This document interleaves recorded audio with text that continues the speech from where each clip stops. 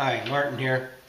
Uh, what we're going to work on today is putting a larger throttle body on our Jeeps, our 4.0s, especially if you got a stroked 4.5, 4.6, or 4.7 stroker Jeep motor.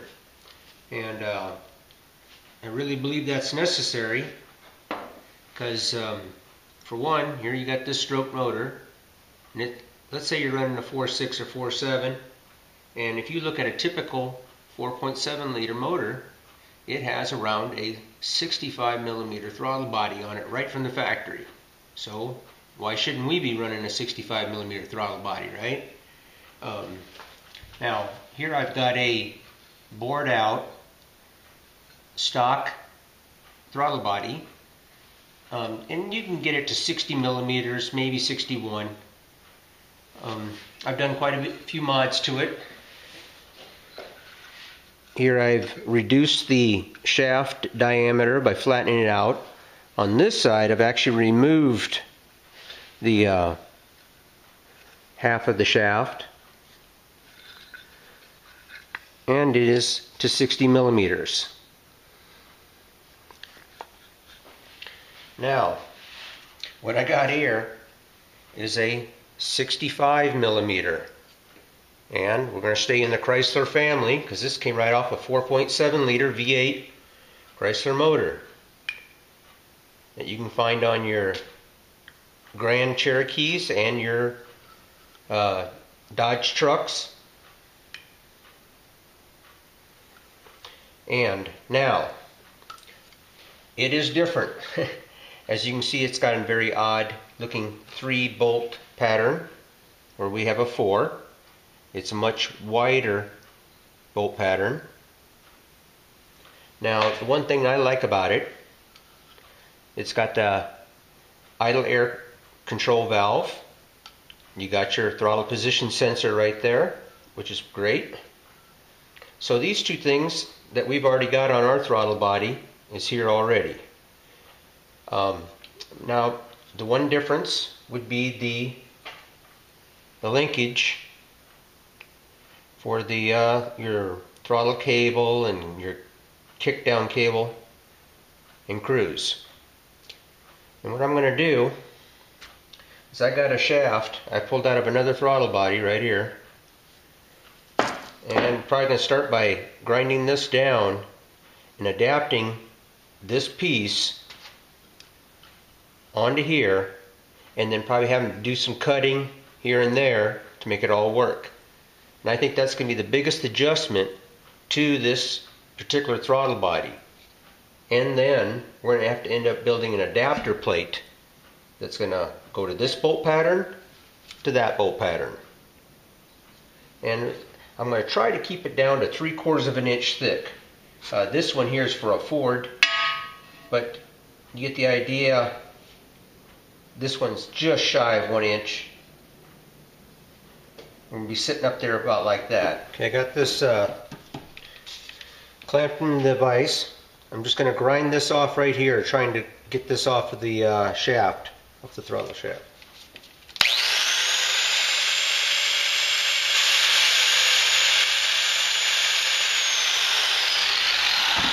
I just put it in here loosely in the vise like this. I'm going to take a punch and see if we can drive that through there.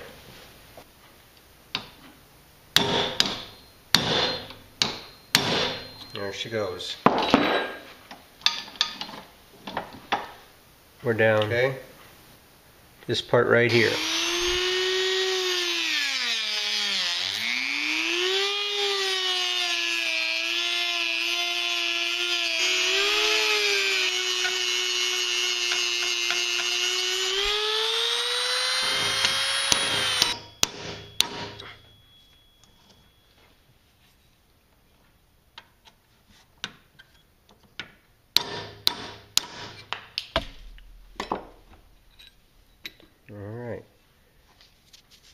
That part removed. Okay, now with that piece of plastic removed, what we're going to do here, the next cut, I'm going to take this, this would be the the throttle stop, not for the for the idle position, okay? and also holds the spring for the throttle. Um, and then we're going to relocate that.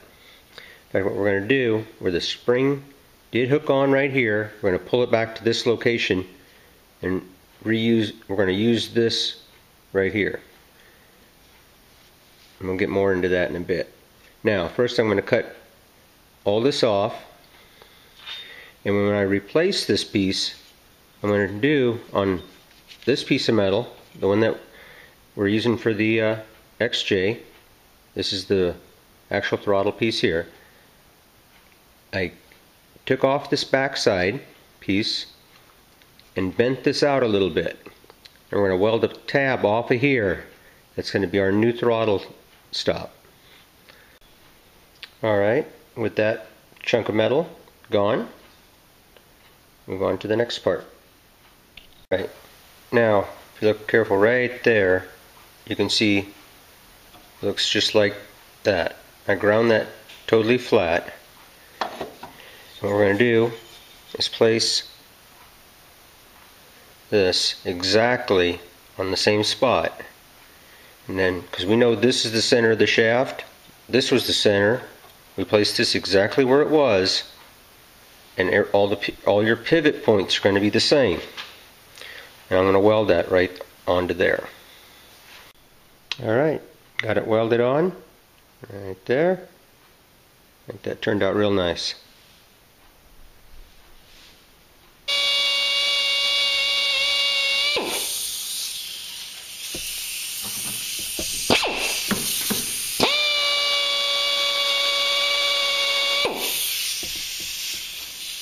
Okay, that hole I just drilled right there.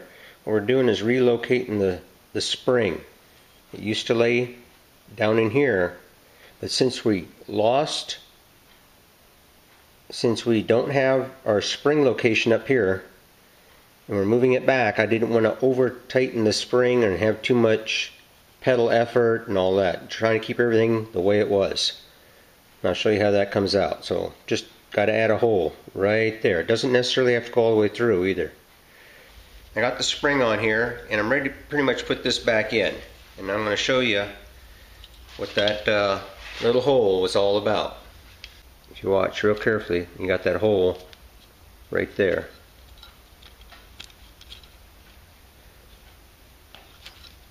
It goes in the hole like that. Okay, and come back, attach just like that.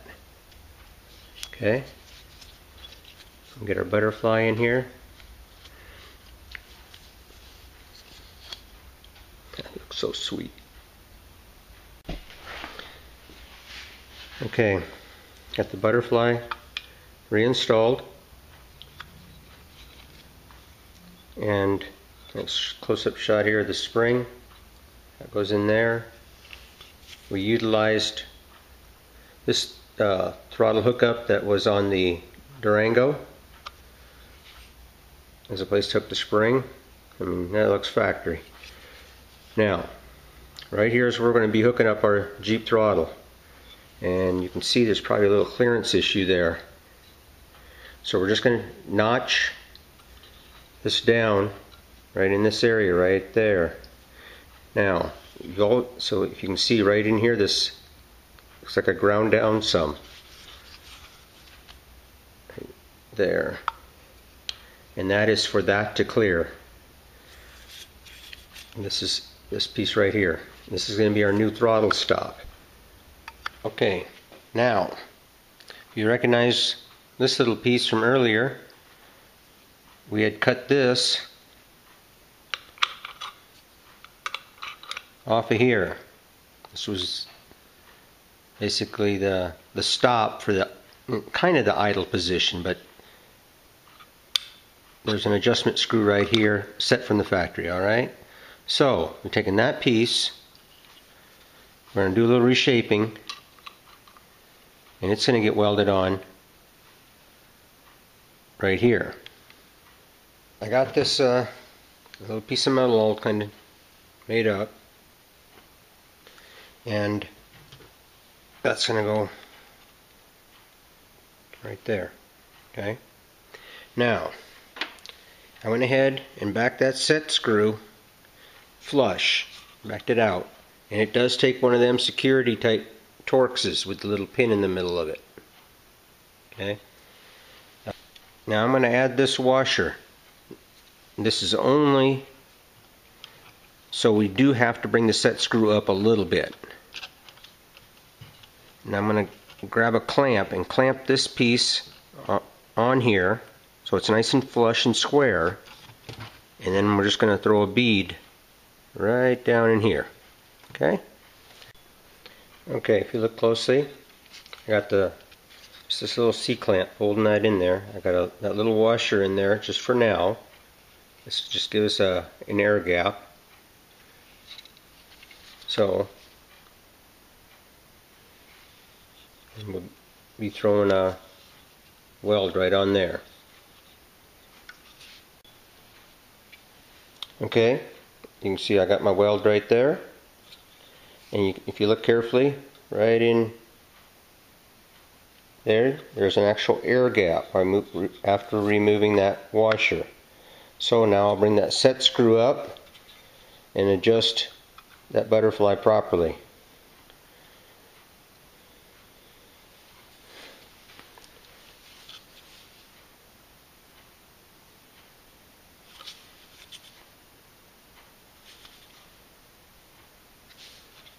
When you bring this up to a wide open throttle, there's your, where it hits the factory stop right there.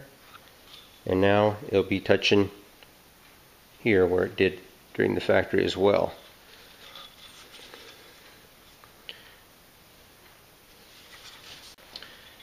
Okay, I uh, got a chunk of aluminum here. This is a 5x5, 1 inch thick. I also purchased a 5 by 3 quarter inch thick and this one's 12 inches I believe long long you know it's big enough to do two plates. So I may use this also. We'll see. Um, I did go ahead and machine this groove out of it and that is for when this sits on here that piece of linkage right there is going to clear when it's pivoted. Okay? Um, I went ahead and made all the uh, markings. Get a shot of that. I got the uh, center. I've got the four holes marked for the original throttle body. And uh, those will be drilled and then also will countersink the bolt heads into the aluminum block so they'll be perfectly flush. And then I've got the one hole marked for this bolt right there. And uh, what I'm going to do is go ahead, drill these, countersink them, bolt this down. I'm also going to go ahead and drill and tap this one and then bolt it into place and then drill the other two.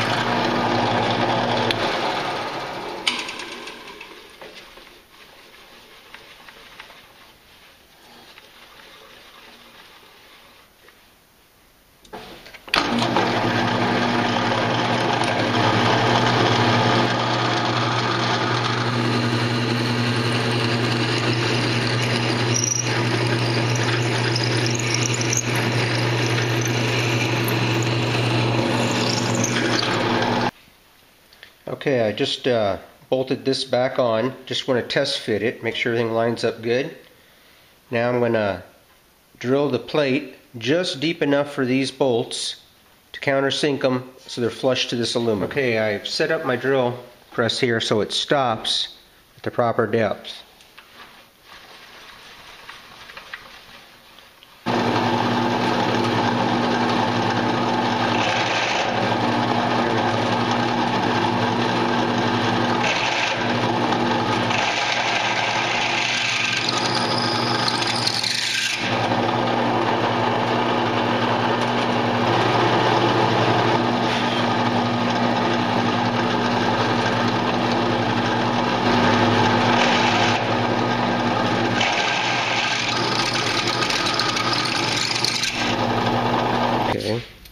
Four holes countersunk in there, as you can see.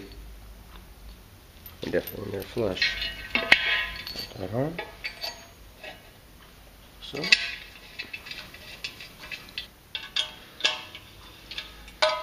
So I can see already that this is gonna fit well. These Allen bolts are going down in there nice.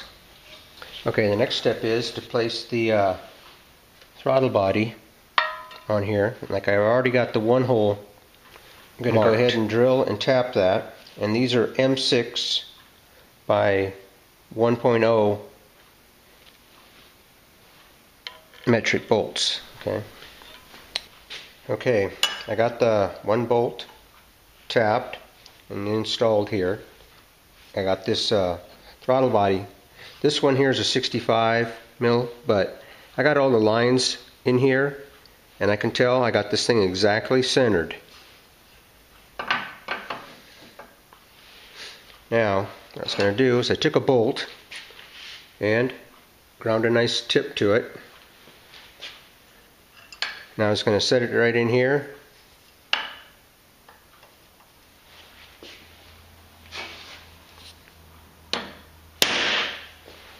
That. Come over here. The other side. This side's a little weird. Got the slot here, but yeah, I guess some wiggle room. Yep. Alright. I'll um, unbolt this, drill the other two holes and tap them. you have your electric hookup for your idle air control, your throttle position sensor. None of that will change and you'll have enough room here for your uh, vacuum brake booster. Right down on there. Now the only thing I got to add yet is the map sensor which I'm going to mount back here. And um, I'm actually going to cut out a little notch just like it is on the factory one like that and then put a small vacuum hose connection on there. So right there you can see where I'm going to do that. And the reason I, am not going to place it up front here, one, I got this bolt going right through the center of it. I could probably go off to the side a little bit, but you know what? I know I can put it back here and make it work. And then the only other thing that's left is to drill the hole in the center of the adapter plate.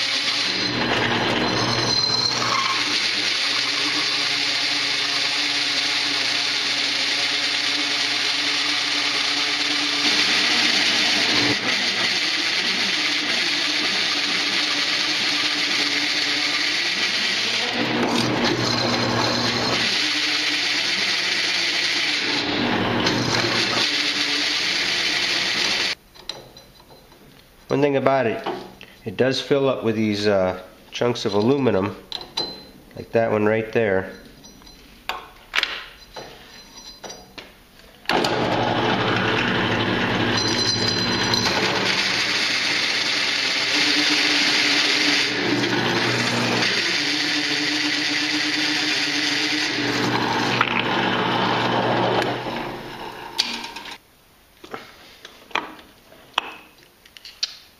Ta-da! Alright, I cleaned the piece up a little bit. I haven't done anything else to it. Come in here. Look at that. 68.55. Right in there, 68.64.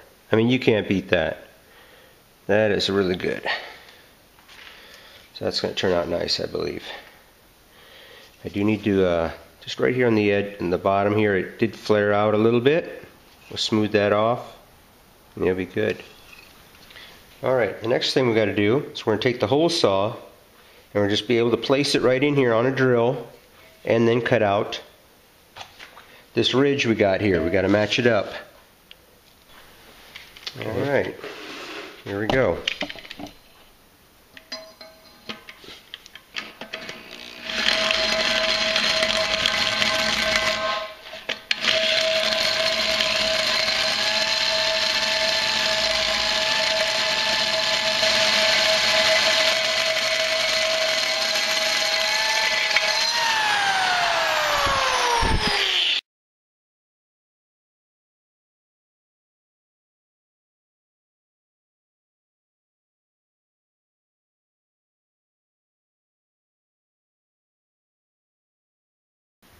Okay, now one of the other things I need to do, um, this is the cold air idle port right here. This is the valve itself. So we got to be able to get the air that's coming through here to get into our intake manifold. Um, what I've done here is just take some silicone and I put it on here as a for a temp plate and then just pushed it down in exactly where I wanted it and it you know leaves an impression here. And I took a uh, scribe and just scribed a line. And what we're going to try to do is uh, I might mill out a little section right in here. Or another option would be to remove a little bit of material right here. And this air could pass from here right into the intake. That would probably be the easiest solution. But I might try this other one just because.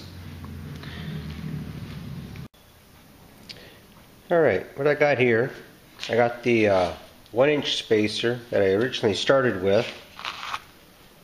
Right here. Got the hole drilled in it. I uh, milled out this section right here and installed a 1 8 inch barb fitting. This is a male to male fitting. Right there. And then I, on that 1 inch one, I had to actually mill out this section here. So when I installed it,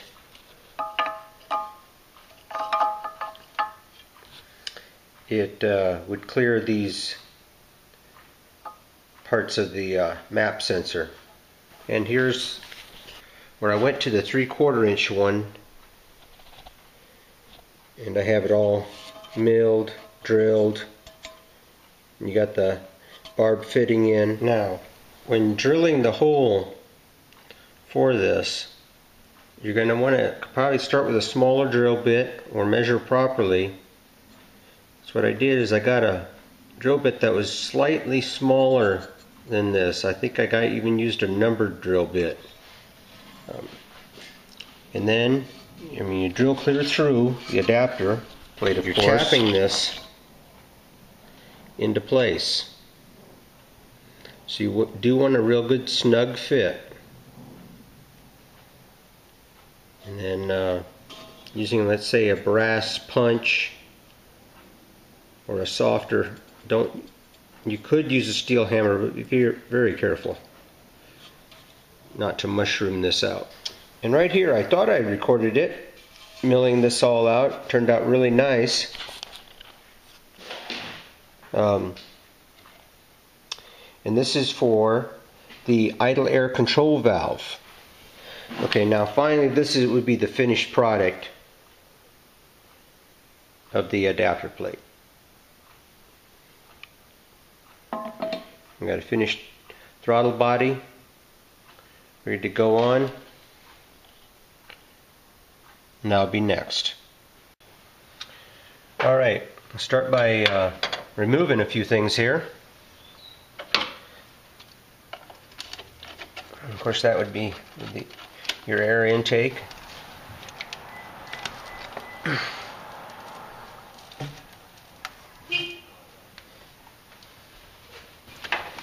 simply unplug your map sensor. You'll need to unplug your throttle position sensor and your cold, your idle air control valve. We'll need to remove this one vacuum hose here because that's the one that's going to get covered up. We'll put a plug in there. Okay, remove this uh, fitting here.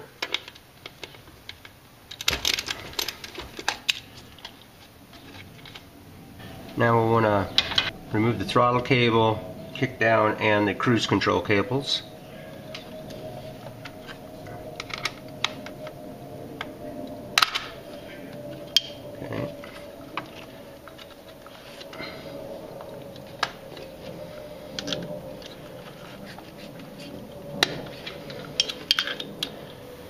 And all that leaves here is to remove the throttle body itself. And we will have to also remove the uh, bracket for the throttle cable.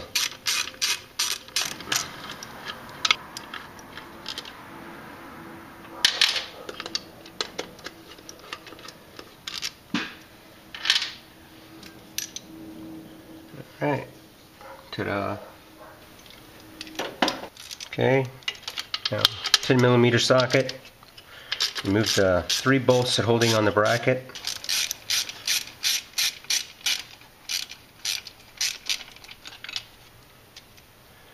And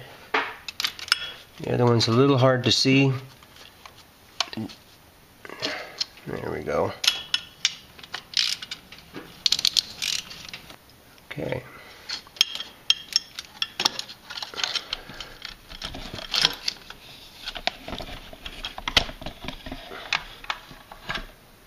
And set that aside. Okay, I'm going to start off by putting a plug in here and then we're going to check to see if this is a little higher than the uh, the mating surface here. It might be by a hair bit. Alright, I went ahead uh, checked this across here and it is absolutely perfect. So when they machined this surface, they must have machined right straight across.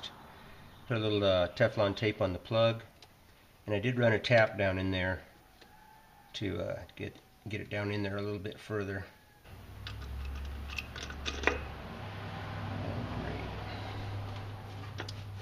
Not good. When I had that map sensor on here, flipped around like it is on uh, in the stock location or the stock orientation, I couldn't slide it underneath here. It would hit the bottom side of the fuel rail. So what I've done is I've uh, flipped it around.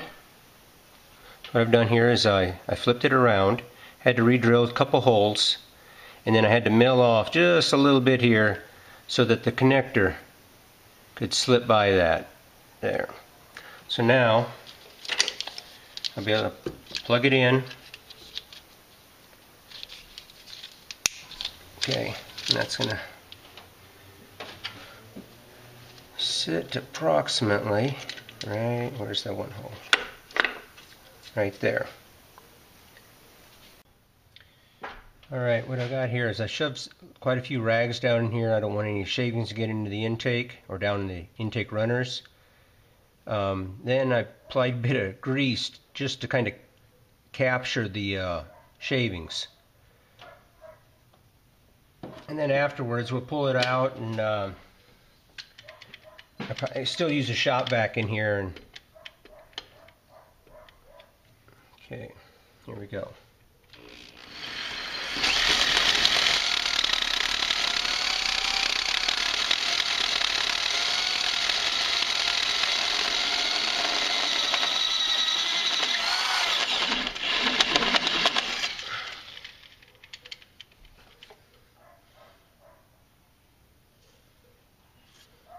As you can see, there's a lot of shavings in there. Um, I'm going to probably grab a shop vac and try to suck all this out of here.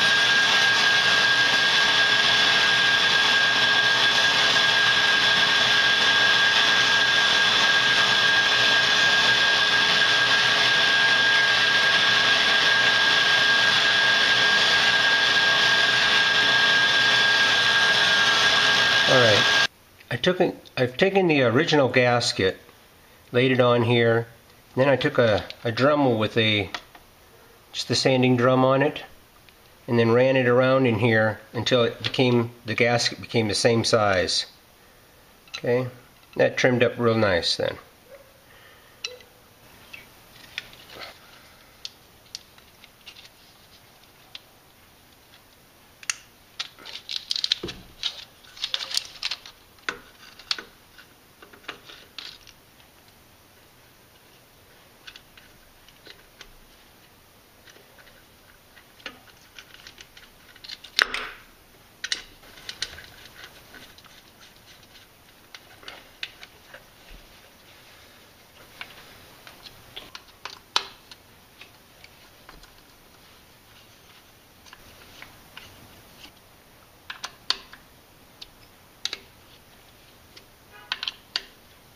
When I'm putting the uh, throttle body on here, the idle air control valve, I thought it was going to clear real well because it would for the uh, brake booster vacuum hose and it actually seems a bit crowded. It uh, gets up against it pretty good. As you can see I can't, I'd have to really fudge it over there. Um, so what I'm going to do, I'll try removing this one. And I got another one here, which actually was down on here. It was right there. Um, and it angled out like this, and then this hooked up. And I thought, well, that's silly. Just put a straight one that I took out of here and uh, put that straight one in. I'm going to use here.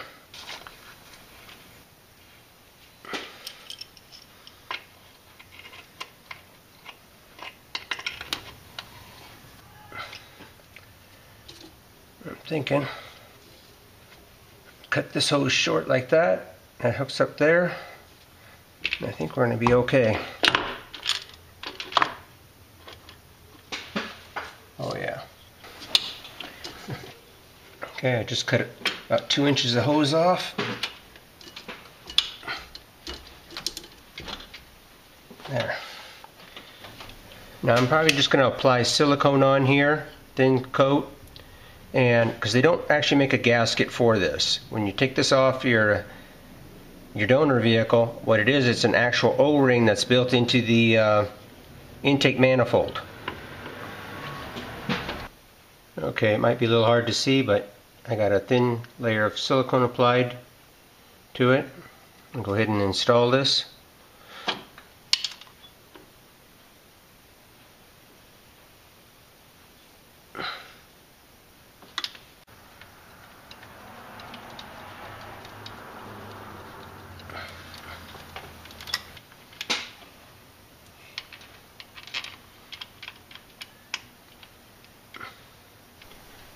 Okay, for the uh, one vacuum hose, it goes to the valve cover, or your PVC line, I guess. It, I hooked it right there to the in, to the new throttle body, which was the one that we plugged over here. Okay, I just slid a rubber hose right over that plastic one and slid it right on there. It worked out good. Okay, then hook go ahead and hook up your electrical connections again. You cannot get them mixed now, up. Get your throttle cables hooked up. I already got the throttle cable hooked up. Here is the cruise control. It's very easy. Just just like that. And then the uh, TV cable or kickdown cable. This one you're going to have to readjust. Pretty easy thing to do. Push that button in, pull this back. See how that cable slid All you got to do is have that, when you got that back, now just run the throttle to a full throttle position and you're going to see that ratchet back out. Right there. Now it is set. Alright, I've got the, uh, this is a uh, turbo quality 90. It uh, has a three and a quarter inch inside diameter with, with a three and a half inch outside or inside diameter on this side. Um, I had to cut off quite a bit of the length because I got to keep this slammed down on top of the valve cover to have the hood I did clearance. have to add a uh, three quarter inch spacer. There's a couple of them, one here and one back here. We're ready to fire this thing up. All right, running pretty good. Took it out for a drive. It seemed pretty impressive.